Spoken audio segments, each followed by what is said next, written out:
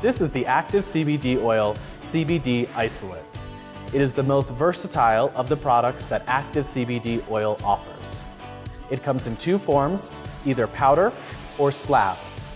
Powder is traditionally used in baking and cooking, but can also be used to make your own CBD products like a tincture or a salve.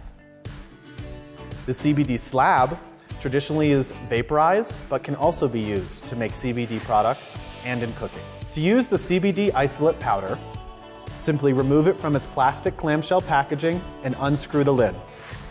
Find yourself a small tool or spoon to pull out the perfect dose. Mix it in to your food of choice. I've chosen my favorite vanilla yogurt. Once mixed, enjoy.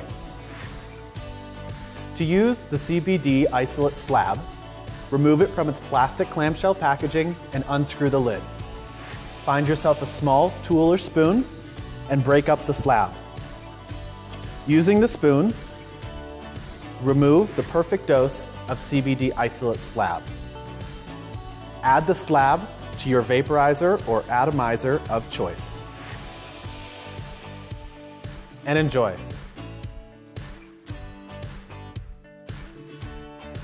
For more information or to speak with a qualified professional, please visit us at discovercbd.com or activecbdoil.com.